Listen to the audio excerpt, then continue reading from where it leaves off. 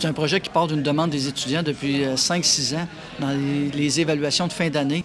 On leur demande qu'est-ce qu'ils aimeraient avoir qui n'existe pas au GR, puis le salon ressortait à toutes les années. Comment vous avez trouvé les, personnes pour le financer?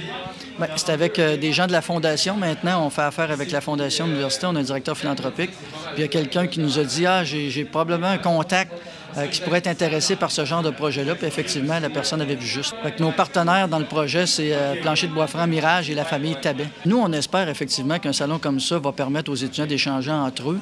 Parce qu'ils ont des vestiaires, mais dans le vestiaire, tu restes en équipe, là, ce qu'on veut, c'est qu'ils partagent entre les équipes. Donc, sentiment d'appartenance, fierté de faire partie du Rouge et puis en même temps qu'on ait un lieu d'échange et tout ça qui leur permet une, vie, si on veut, d'avoir une vie étudiante intéressante pendant qu'ils sont ici au PEPS. On est vraiment contente pour nous. Comme on disait tantôt, c'est comme un peu euh, un rêve qui se réalise. Ça nous permet de développer notre sentiment d'appartenance, de pouvoir euh, échanger entre équipes, de pouvoir enfin se rencontrer. Fait que on est vraiment très contents. Ça fait à peu près trois semaines, un mois là, que, que c'est ouvert. On est, on est souvent là. Euh, on passe. Il y a toujours, toujours quelqu'un qui qui est là dans le salon. Puis euh, on est vraiment content de pouvoir, euh, de pouvoir se rencontrer les, entre équipes dans ces salons-là. C'est à chaque fois que quelqu'un qui rentre, c'est pas juste des gangs qui se, euh, qui se forment, ça se, ça se fusionne. Puis ça nous permet beaucoup justement de parler puis d'échanger entre équipes puis de créer des liens.